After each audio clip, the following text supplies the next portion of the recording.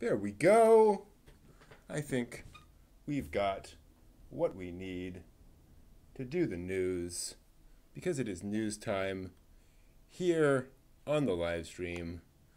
Looking forward to bringing that to everyone. Uh, let me see here. I just got to pull up my thing. There we go. Let us do the news. So, October, welcome back to the latest anime news for the week ending October 3rd, 2020. October is the perfect time for zombie horror news, and that's exactly what Capcom has given us this week. It was confirmed during last weekend's Tokyo Game Show online that a CG Resident Evil series is in the works. The Resident Evil Infinite Darkness miniseries is slated to debut on Netflix sometime in 2021 and will center on the protagonists of Resident Evil Evil 2, uh, Leon Kennedy and Claire Renfield, of course. Sorry, Claire Redfield. Uh, anime studio TMS Entertainment will be handling production of the series with Quebico, I think I'm pronouncing that right, founded by Resident Evil Vendetta co-producer Kei Miyamoto, handling and producing the full 3D CG animation. Uh, Resident Evil producer Hiroyuki Kobayashi will also be involved in production and story supervision on the series. That's good. Um, the survival, the, the Resident Evil series, uh, known, as Bio, known as Biohazard in Japan, has spawned 10 main entries and a number of spin off games, plus comics, live action films, and three previous CG animated films, all of, let's just say, varying quality um, and uh, of, of stuff. So uh, I know reaction to this has definitely been mixed, um, but it's always kind of fun and, and, and interesting to see uh, properties like this adapted to uh, to anime. It's kind of interesting because, as far as I know, like there's not a lot of you know uh, horror anime in the classic sort of horror sense. Um, so hopefully this will bring some some horror vibes to uh, to anime and to Netflix. Uh, what's the over under well, on it being any good? Define horror because I thought Parasite was pretty like ah. Agreed. Ajin Ajin was like ah. Yeah. So agreed. You know, what I mean, that's two. Higurashi. Yeah, uh, sure. Uh, you know what I mean? It's like there are horror agreed. things out there. Yeah. Uh, Brunhild in the Darkness was one that I enjoyed. Mm. That was very horror-y. Okay.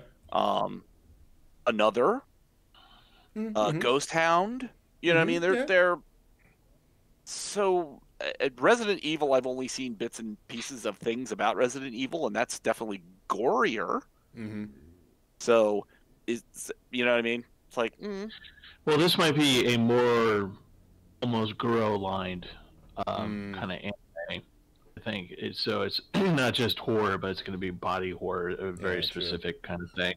Um, yeah, I, I haven't. I'm not a big. Um, I'm not invested in the in the in the franchise, mm-hmm. Resident Evil franchise. I've seen a couple things, and you know, I'm just not big into it. But it's I've seen things, man. I've, I've seen, seen, things. things. Yeah. Mm-hmm. um, but it is definitely you know action gore i mean you know if you're into that kind of thing uh, you know that's that's you know like if you played doom as a kid mm. you know you know things like that then this is definitely going to be an interesting anime for you. Um, it if you're like me, where it's just kind of like I'll wait to see how other people kind of react yeah. to it if before I yeah take time on it. Mm-hmm.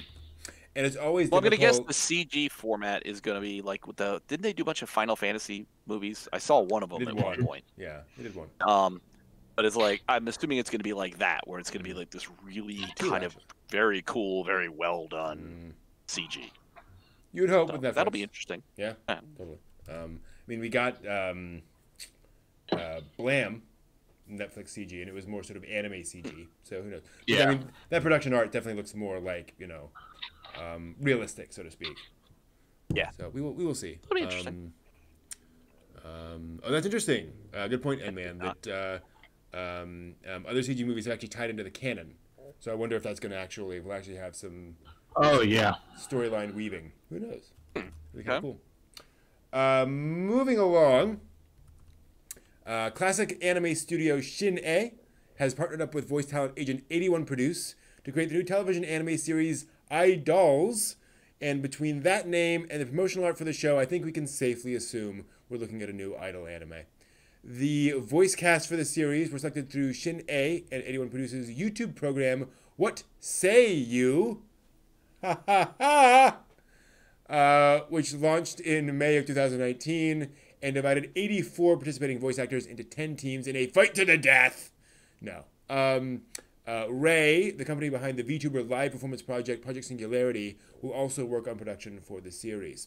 The production will use motion capture technology to record the movements of the voice cast while making voice recordings, with the goal of incorporating the realistic acting and natural reactions of the cast directly into the animation, which I think is very, very interesting. Creepy.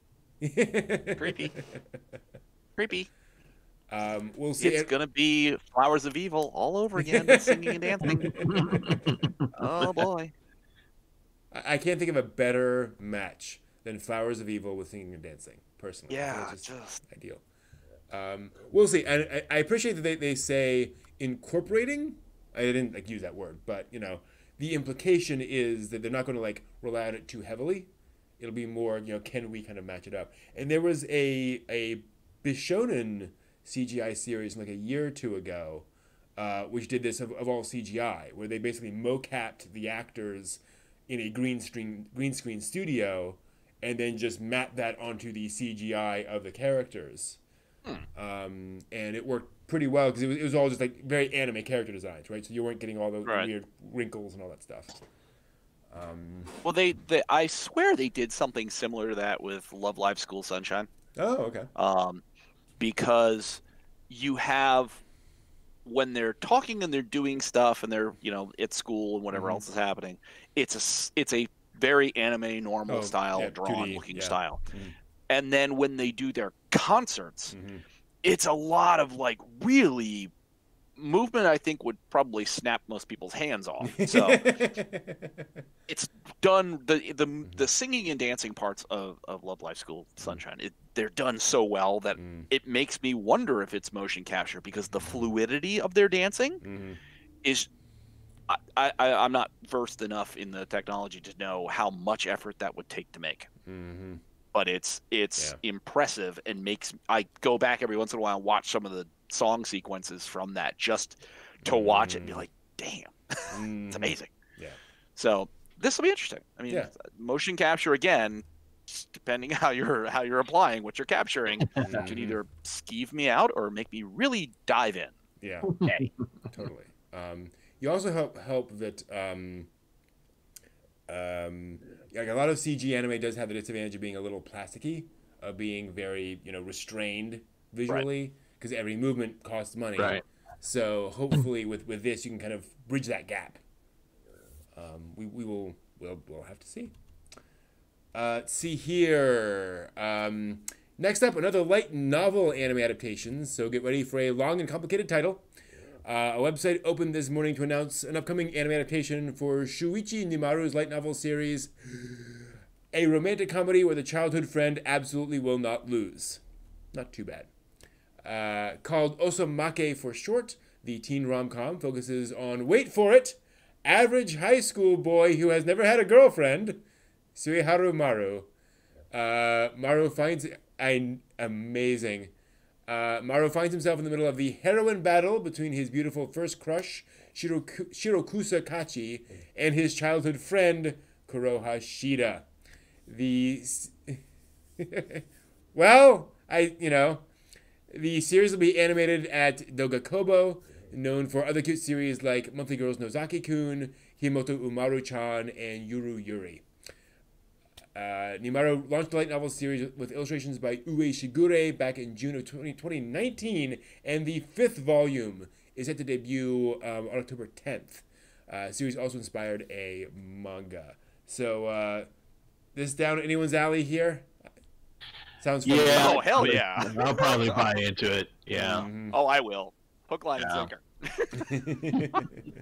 I just love the idea that we're gonna watch some poor teenage guy be involved in a heroin battle. Mm-hmm. it's gonna be. hey, It's gonna be a heck of a hook on that. what series. it says. It's what it says. I just read the. I just read the, the, the words. That's all I can say.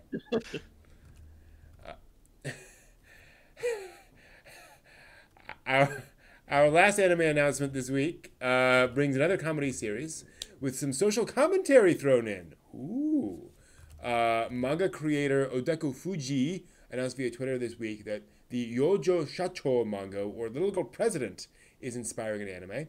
The two volume gag comedy series centers around an aggressively average five year old girl, as they say, Najimu Mujina, who, despite not being a genius or an adult, is president of the Mujina Company. Uh, as described by ANN, all the familiar trappings of adulthood, like matchmaking parties, contracts, and socializing while golfing, are new experiences to her.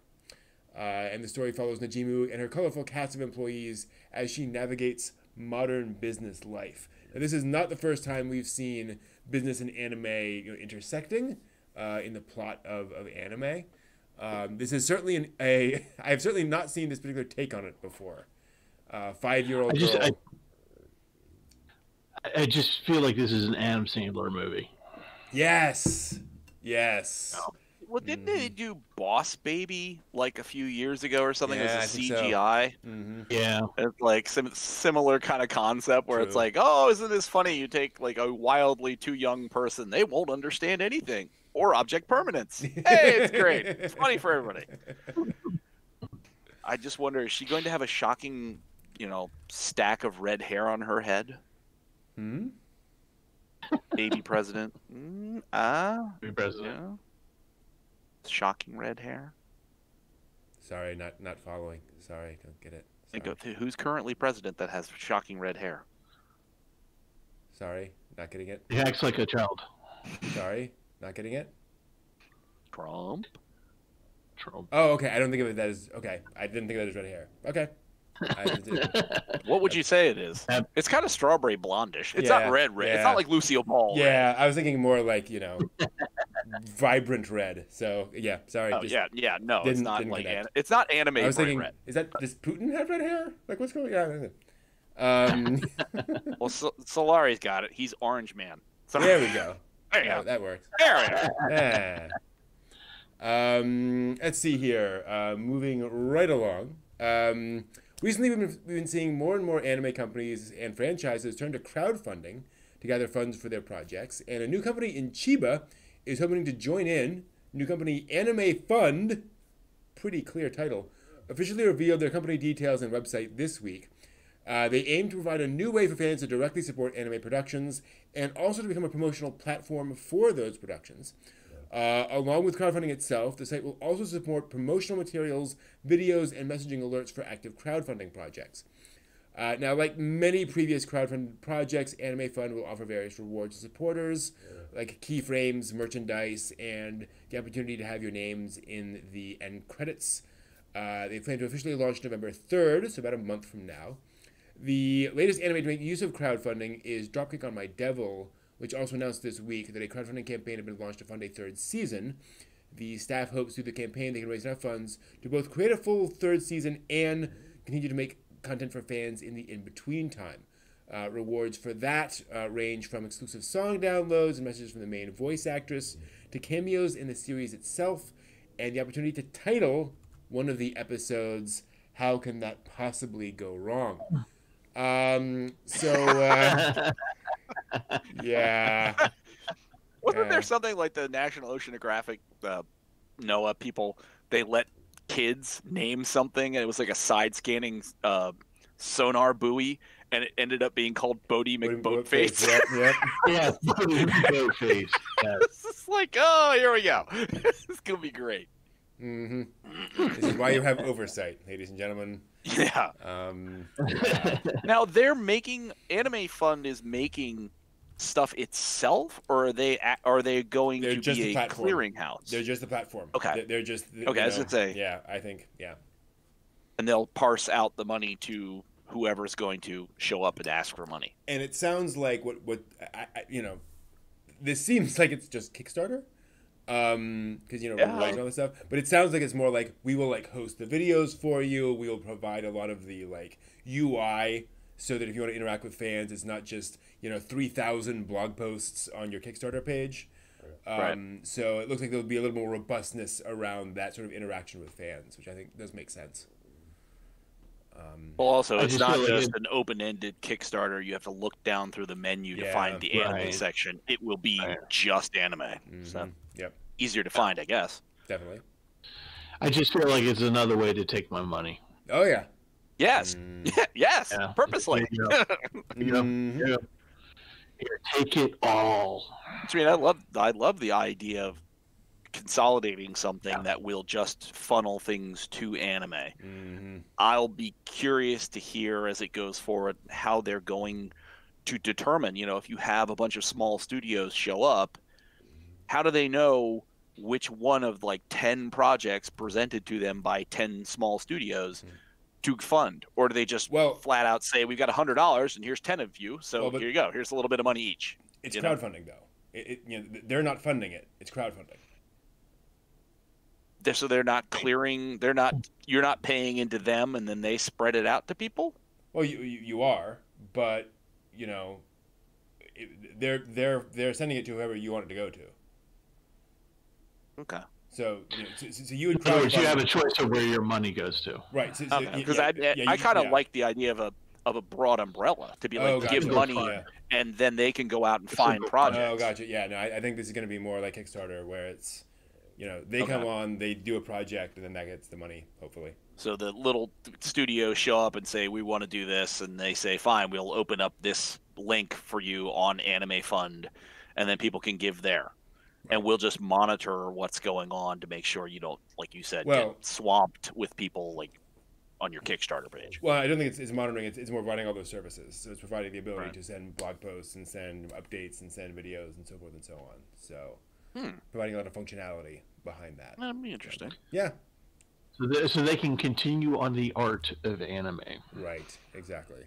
Um, it sounds like it's basically the OVA market, right? It's basically the digital version of the of OVAs, where it's like we're going to go direct to fans and present things to them and say, "Will you support this thing?"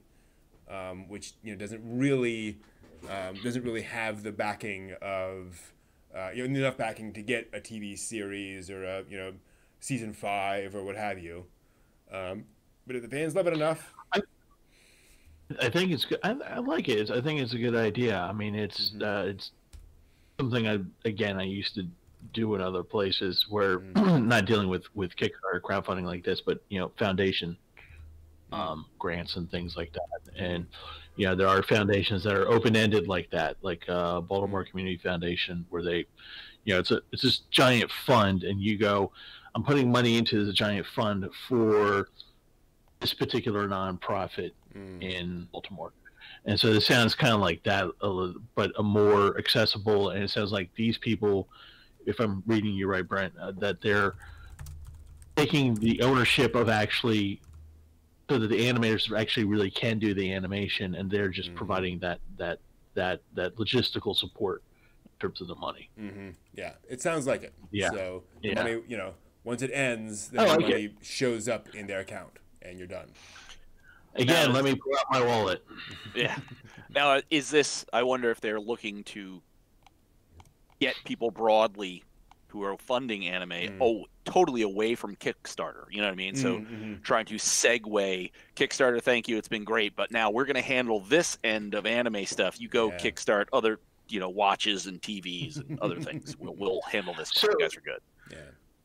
So, so just to just to ask about this, I don't know if you know this, Brent. Um, are they charging a fee to I mean, they haven't even Yeah, launched just- yet, so we don't know yet. because okay, okay, because that'd be kind of cool if they weren't charging a fee. I mean, typically Kickstarter doesn't. I mean, they they, they, they charge a fee, but it comes off of you know you, it's however many percent of every yeah. every pledge. Right.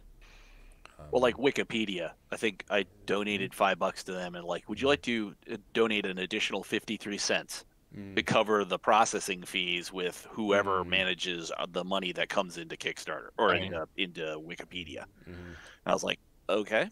mm, I didn't realize there was. I didn't Oh, yeah. realize that that happened. So I'm like, okay, cool. yeah, That's fine enough. and like credit, Five dollars and fifty-three cents. mm, credit card processing fees, all that stuff. Yeah.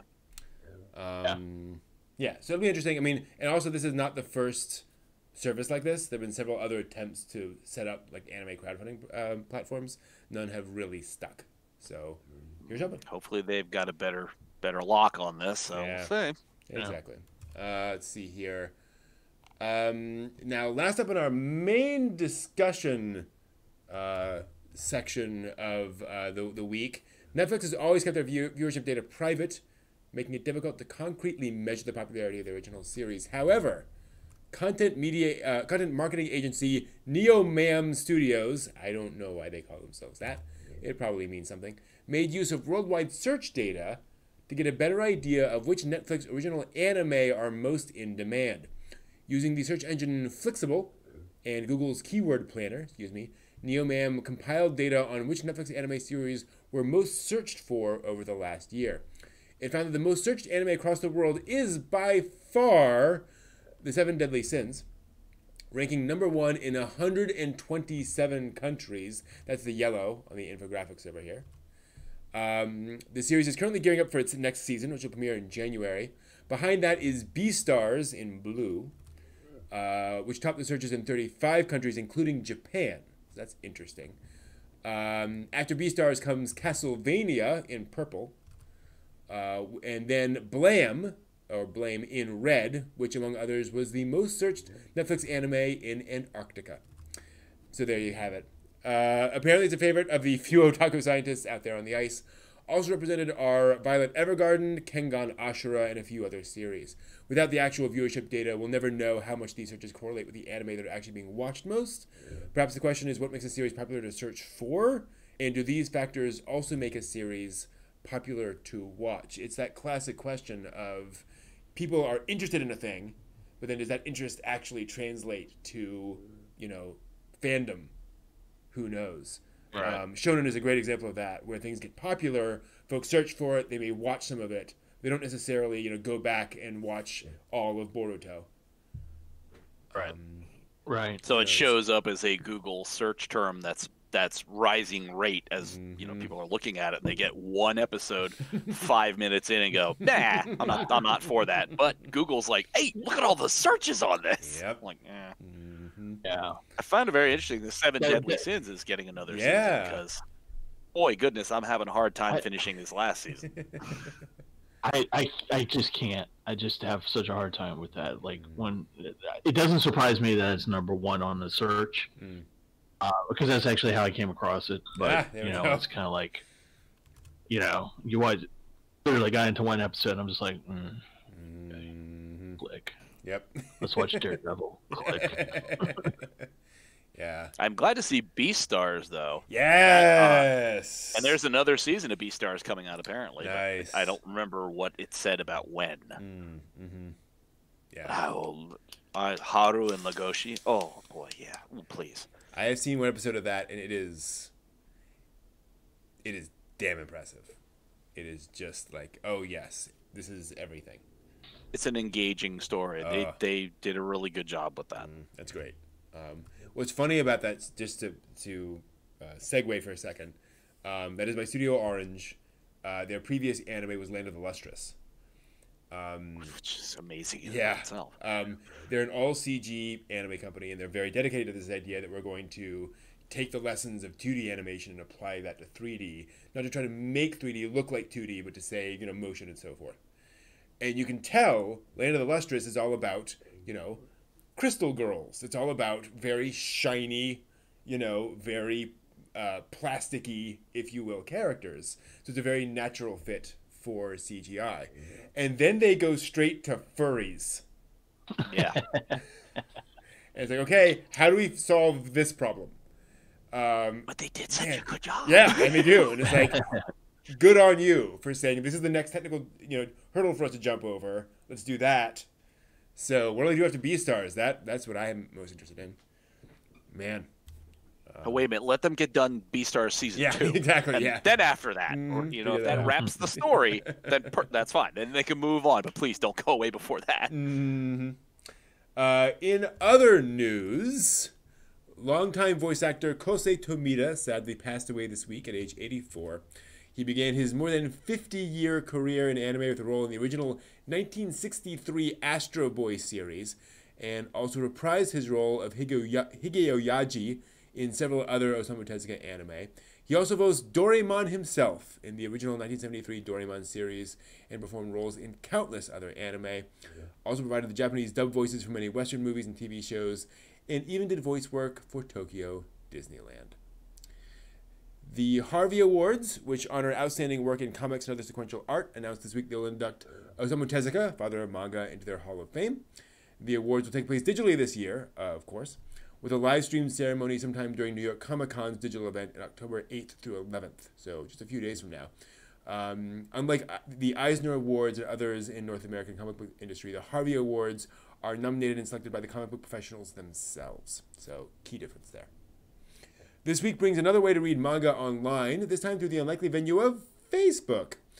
WFS and Houbunsha have launched the Manga Time Kirara Comics app in more than 240 countries and regions through Facebook Instant Games.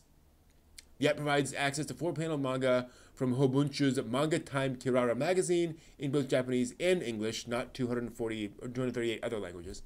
Uh, launch titles in the service include K-On! is The Order of Rabbit and The Demon Girl Next Door, among others. More titles will be released in the future, including Blend-S and New Game. Uh, Houbunsha launched digital versions of its magazines uh, Manga Time Kirara, Manga Time Kirara Carrot, and Manga Time Kirara Max back in 2019. So they're not new to this.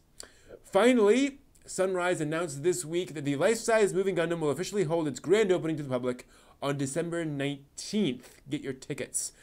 The Gundam Factory Yokohama includes the mech itself, a lab area where visitors can learn about the technology behind the giant model, a cafe, and an observation deck that puts fans at eye level with the Gundam. The attraction will remain open through March 31st. So you only have three and a half months. Uh, the giant model performs a demonstration of its abilities every half hour from 10:30 a.m. to 8:30 p.m with the staff planning to run special seasonal shows from time to time. Exactly. this thing's supposed to operate 24 7 every day exactly. of the year. Yes, for the rest of time. Um, yes. I'm very curious. Now, I'm sure they do not mean that on March 31st they say, okay, start unbolting it. Right? Like Tear it down, boys. what? Uh, like that yeah. exhibition, right? They'll they'll shift it around. Um, or it'll just it'll just walk to the next exhibition spot. It'll wave and just walk away. like, hey, I thought it was connected. That's one thing. God, being eye level on that thing. Oh uh, man, man. So somehow, for only three, somehow three months though, three and a half months. That's yeah. it.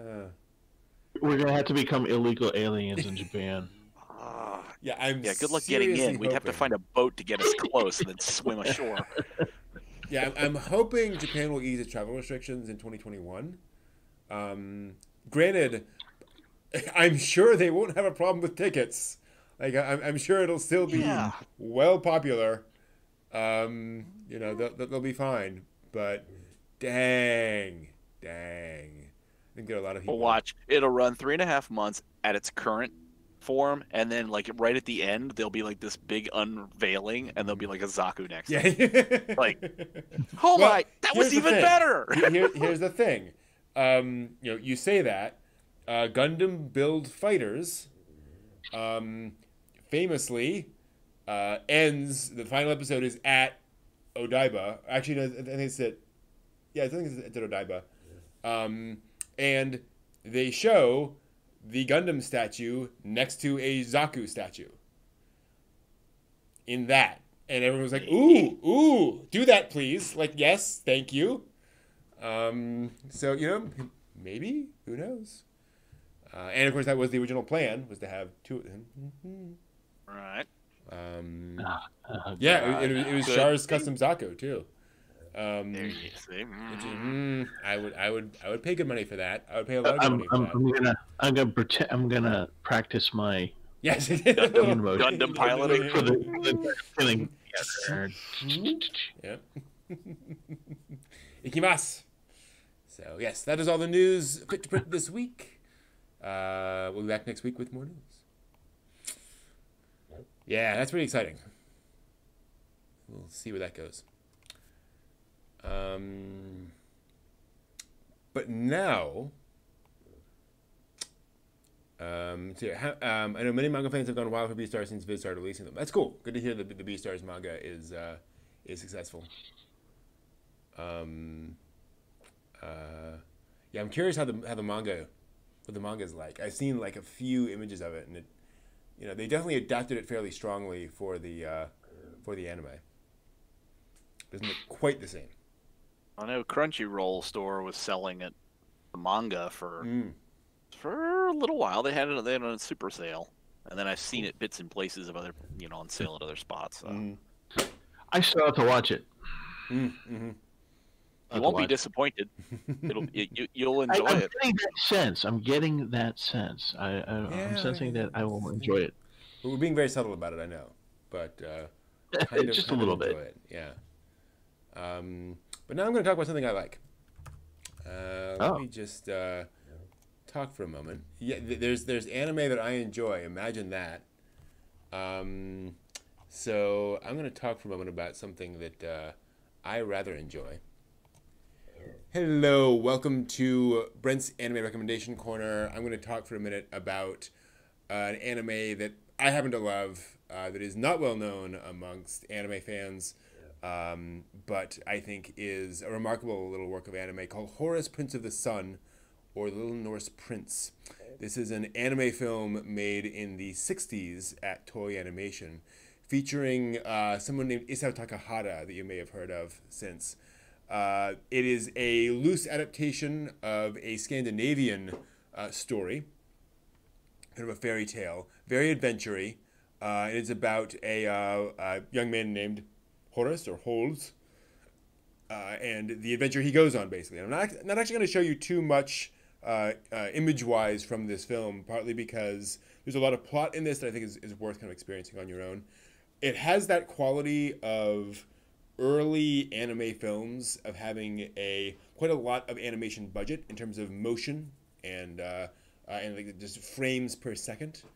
Um, and you can totally see the Toei studio working through um, animation and, and trying to make their anime films look impressive.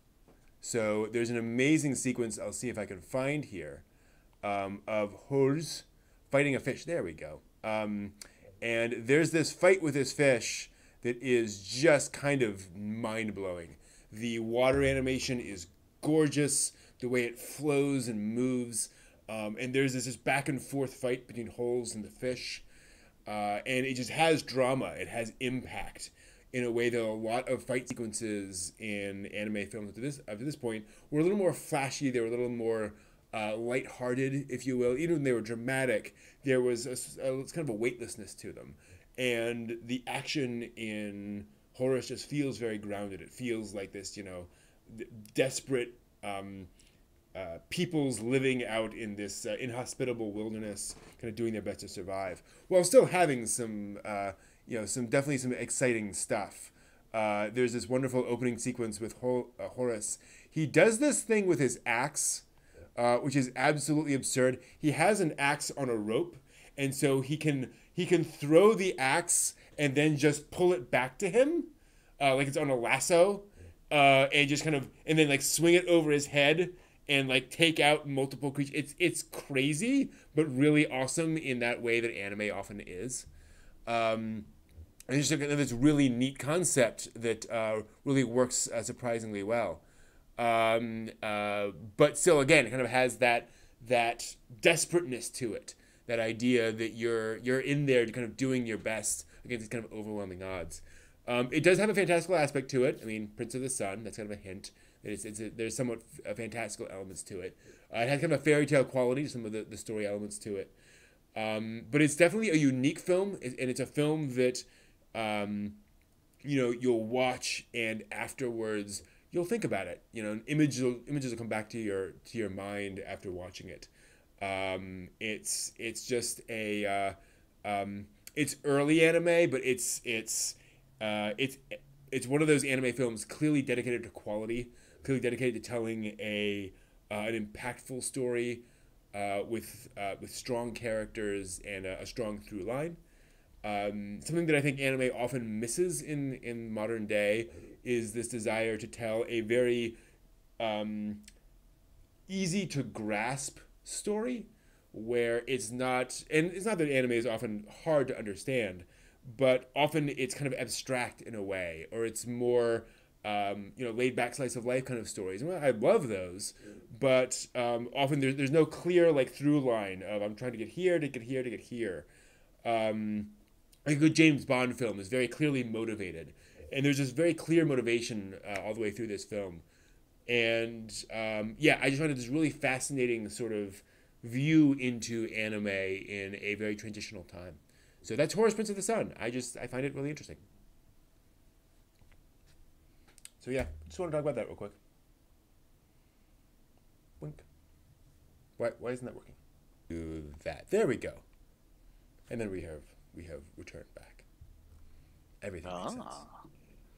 Yeah, I still have not found Horus in in any other sources. Again, we can Is fix this, and we will make sure that, it, that there are. Uh, titles. It was actually released on DVD, Blu-ray recently. Mm-hmm. Um, so um, th- there was that. So I'm not sure if it's streaming anywhere though.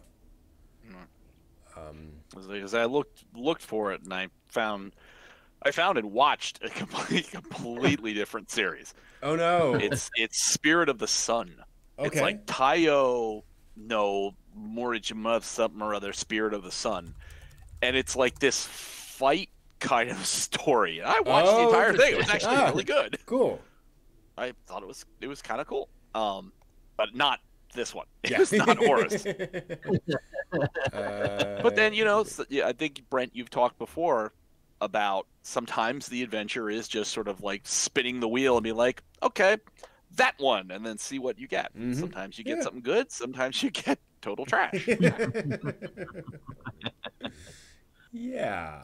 Adventures um, in anime. And uh, interesting. Seinen manga, Spirit of the Sun, apparently. Yeah, I I didn't think I was gonna like a fight show either. Mm-hmm. I'm like, okay, here we go. Mm-hmm. Interesting.